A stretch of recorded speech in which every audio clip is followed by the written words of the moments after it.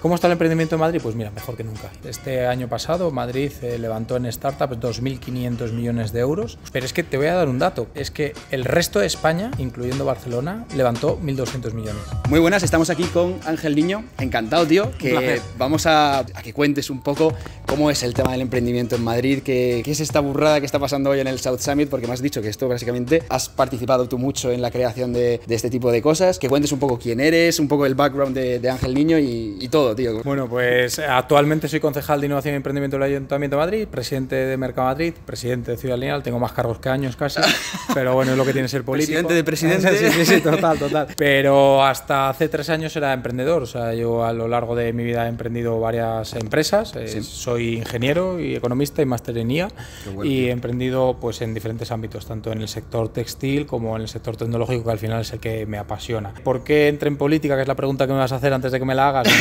Porque yo creo que es importante también que todo el conocimiento que adquieres en la empresa privada seas capaz de transmitirlo a la empresa pública, porque al final la empresa pública es dinero de todos y al final hay que optimizarlo. ¿Qué es lo que estamos hoy? Estamos en la décima edición del South Summit. La décima edición del South Summit es algo que, es increíble. De hecho, piensa cómo estaba España hace 10 años, año 2012, una crisis brutal, y 10 años después estamos aquí en un evento que está siendo el South Summit más grande que ha habido nunca, con inversores de todas las partes del mundo, startups, sobre todo de Madrid, porque ahora hablaremos del emprendimiento en Madrid, pero startups también de todas las partes del mundo y grandes compañías que están buscando a esas startups y a esa gente que quiere emprender y cambiar el mundo. ¿Cómo está el emprendimiento en Madrid? Pues mira, mejor que nunca. Y te explico por qué. Hemos abierto nuevos centros de innovación, entre ellos dos de los cuales me siento especialmente orgulloso, que es el primer centro de Food Tech de Europa para tecnologías de alimentación del futuro, el segundo del mundo, y además está teniendo visitas. De hecho, ayer mismo estuve con una delegación de Arabia Saudí que quería conocerlo porque está impactando mucho fuera de, España que, que una ciudad como Madrid, que no tiene campo, decida, ¿eh? decida, emprender en el mundo footage. Pero te diré más, hace un mes estuve con un ministro de Puerto Rico y estoy enseñando lo que estamos haciendo y él mismo me dijo, oye, vamos a abrir uno igual en octubre, nos ha encantado. O sea, al final yo creo que también motivar ese emprendimiento desde la ciudad de Madrid, pues es, una, es una idea, vamos, brutal, porque al final em, el motivar el emprendimiento es motivar el que, que, se generen empleos. Que... Y el ecosistema, al final generas un ecosistema de emprendedores y de empresas que se acercan. Pero no nos quedamos ahí. Hemos abierto ya hace dos meses el primer centro de inteligencia artificial público de España, está en Chamberí, y está teniendo también una repercusión bastante internacional, sobre todo en tema de, expertos de inteligencia artificial. Pero lo que más me motiva a mí de ese centro es que a día de hoy estamos rodeados de inteligencia artificial, pero tú le preguntas a cualquier persona que esté fuera del emprendimiento, fuera de la innovación, ¿qué es la inteligencia artificial? Y te responde, es Yo Robot el de Will Smith. es verdad, o sea, estamos haciendo un esfuerzo muy grande para tanto a niños de menos de 16 años como a mayores de más de 70 años, formarles en la inteligencia artificial y en esa brecha digital que tenemos que cubrir. ¿Por qué? Porque al final, si queremos tener una ciudad innovadora, que yo creo que es a lo que aspira Madrid, una ciudad innovadora a nivel mundial, no puede tener una población que no esté eh, formada en el tema de... ¿Cómo se forma la población de Madrid en eso? Pues mira, se forma en diferentes puntos. Yo creo que el esfuerzo más ímprobo lo tenemos que hacer en, las, eh, en la edad eh, joven, de 16 años para abajo sobre todo, formándoles con programas como los que tenemos aquí, Emprendedores en el Cole, vamos a los colegios y les formamos en habilidades emprendedoras. También colaboramos con fundaciones de, que trabajan en el mundo, en el mundo de la educación para enseñarles que oye, que se puede ser funcionario, se puede trabajar en una gran empresa, pero que no dejes de lado lo de ser emprendedor, porque al final te, desarrolla una serie de habilidades y sobre todo desarrolla una serie de conceptos que al final van a construirte como persona, más allá de la empresa, pero te van a construir como persona. Pero ya no te hablo de, política, te hablo o de concepción del emprendimiento, te hablo de números reales. Este año pasado Madrid eh, levantó en startups 2.500 millones de euros, la vez que más ha levantado en toda su historia,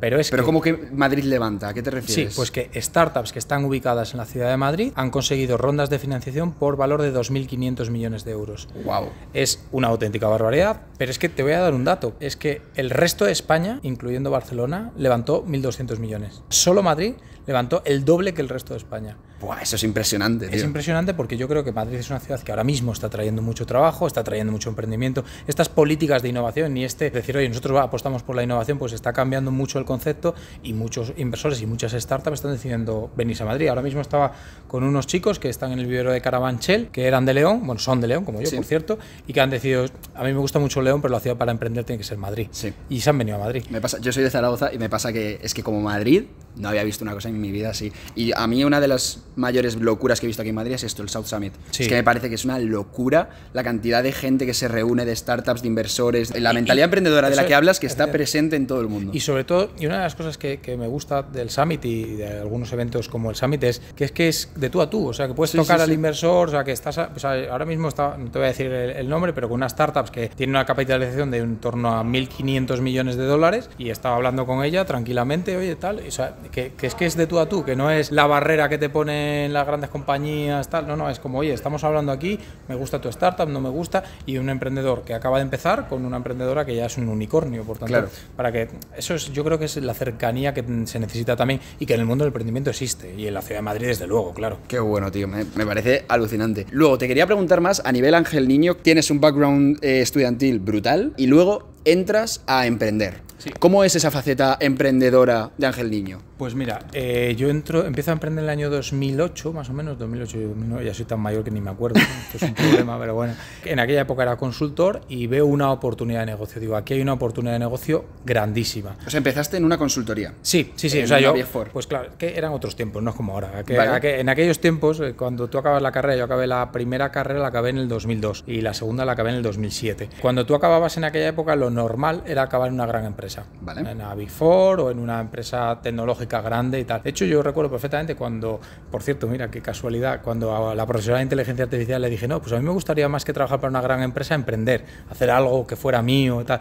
Me dice, bueno, tú entretente unos años y cuando ya hayas aprendido ya tiras a una gran empresa. Ahora no es así, ahora hay mucho más emprendimiento y mucha más gente que quiere emprender. Pues yo vi una oportunidad de negocio, me, no, me até la manta a la cabeza porque no tenía ni manta ni, ni un duro, pero, sí conseguí convencer a los que ahora son mis socios y siguen siendo mis socios, aunque yo ya, no estoy en la, en la, parte privada, para eh, lanzarnos a la piscina y funcionó. Funcionó, funcionó. muy bien. Y a partir de ahí me aburrí. Cuando llevaba ya cuatro o cinco años en la misma empresa, dije, oye, esto me gusta, pero ya la empresa funciona sin mí, ya, ya no aporto valor, y entonces empecé a emprender otro tipo de empresas. Qué bueno, tío. Ese es el emprendedor que se nace con ello o no se nace, ¿no? Bueno, yo, mira, te diría que creo que el, el, emprendimiento naces siendo emprendedor, pero creo que también puedes trabajarlo. Es decir, al final, cuando tú estás rodeado de emprendedores, te absorbes esa energía, absorbes esa forma de pensar, y cuando a ti van a los colegios, porque claro, yo de emprendimiento en mi colegio nada, absolutamente nada. Pero, una palabra desconocida, ¿no? Totalmente desconocida. Pero cuando ahora ya hay mucho más ambiente y yo creo que puedes nacer o también puedes criar ese sentimiento emprendedor.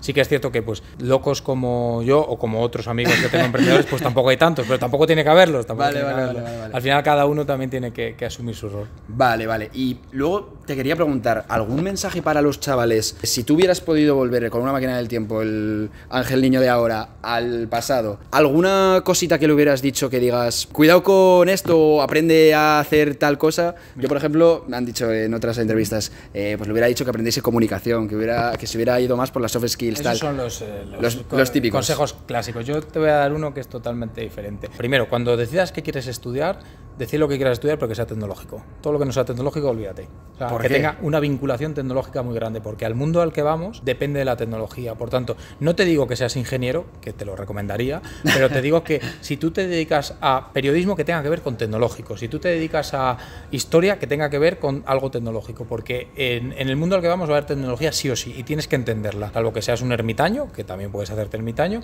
pero tienes que entenderla. Por tanto, que tenga un componente tecnológico, sin duda, y si no, trabájalo.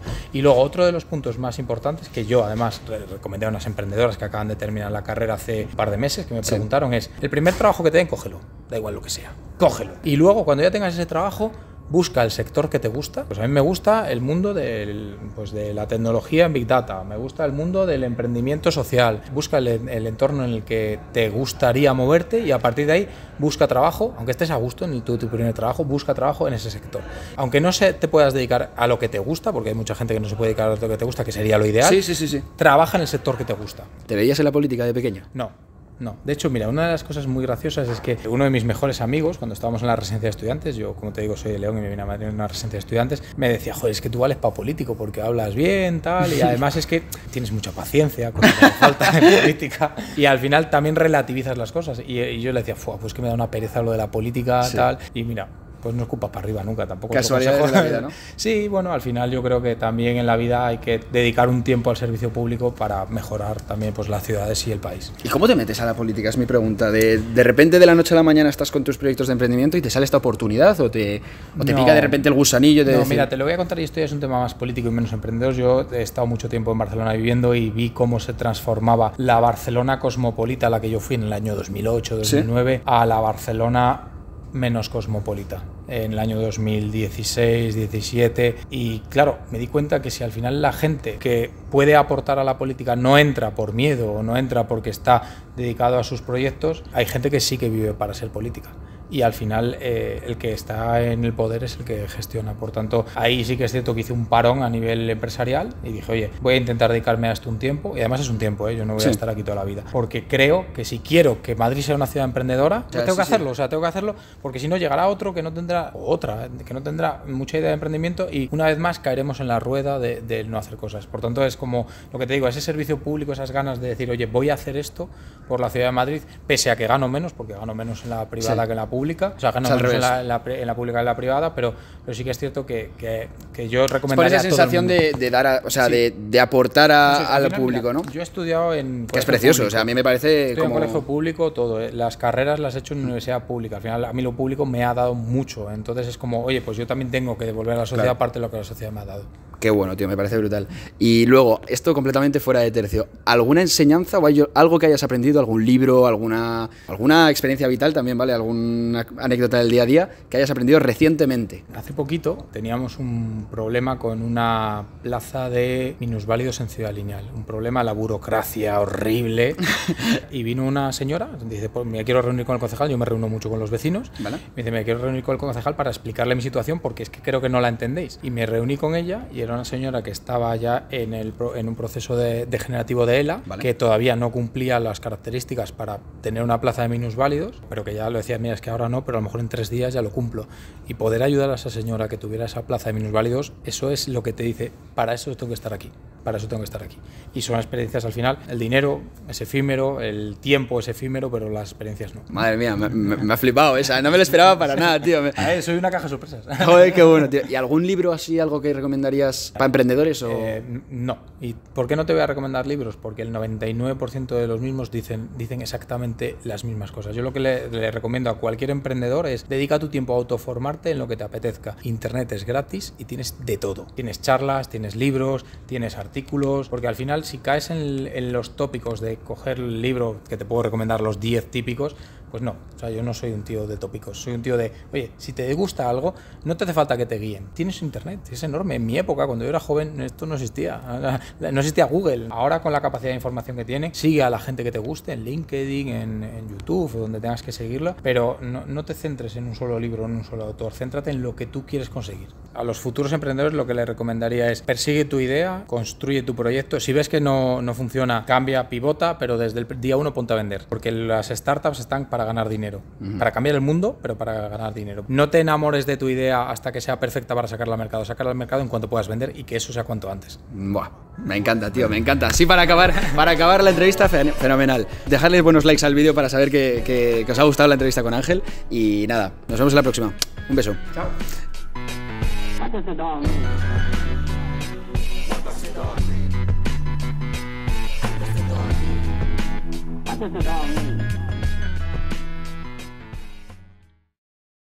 Rollo First Dates, estamos aquí con... rollo first date, tío, rollo first date total.